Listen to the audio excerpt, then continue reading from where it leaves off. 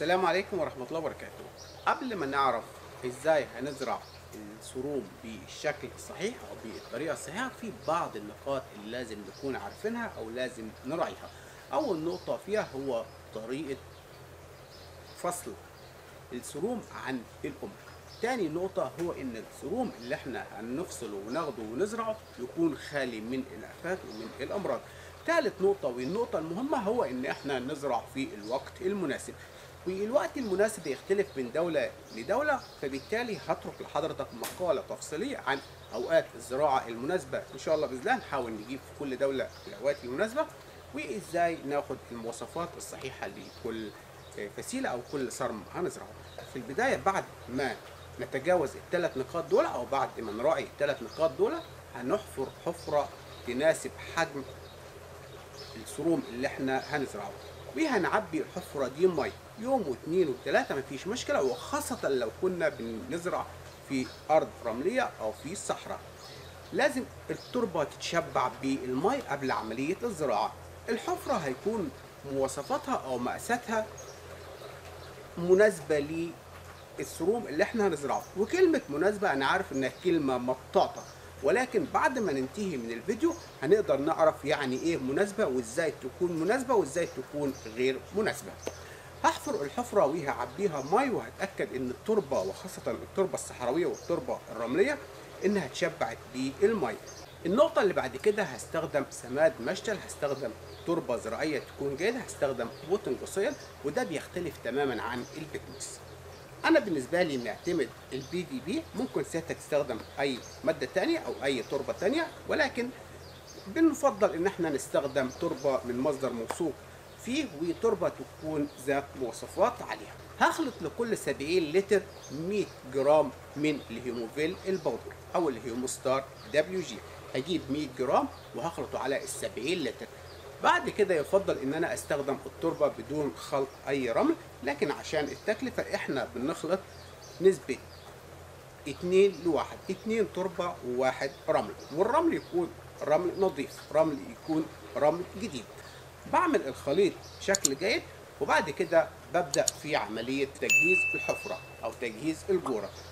في البداية بضيف سماد عضوي روث حيواني مش peat moss ولا potting soil ولا سماد مشتل ولا الخليط اللي أنا استخدمته. بضيف في الأول ما يعادل 2 كيلو في الجورة أو في الحفرة متوسطة الحجم زي أمام حضرتك بنحط 2 كيلو في الأسفل وبعد كده بنضيف طبقة من الرمل. طبقة من الرمل مش التربة اللي إحنا خلطناها.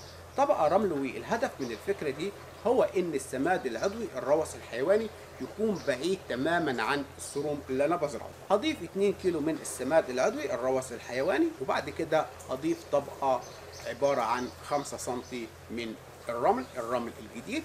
بعد كده ببدأ أضيف الخليط اللي أنا خلطته اللي هو ال potting soil مع الرمل مع الهيوموفيل أو الهيمو ستار بعبي الجورة تربة وبرجع مرة تانية أقيس السروم اللي عندي. الهدف من إن أنا أقيس هو إن أنا ما أزرعش السروم في الأسفل أو السروم ما يكونش غويط في الأسفل والمية توصل لقلب السروم وتساعد على موت السروم أو تساعد السوسة على عملية الانتشار.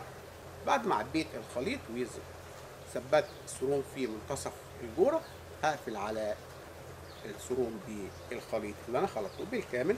من الضروري أثناء تثبيت السروم أو زراعة السروم هو إن أنا أخلي السروم بشكل مستقيم زي ما حضرتك شايف هنا سروم مستقيم.